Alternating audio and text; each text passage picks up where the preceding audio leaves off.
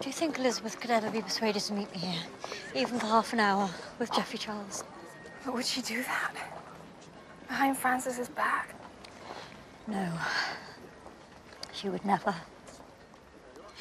But I do miss them so terribly.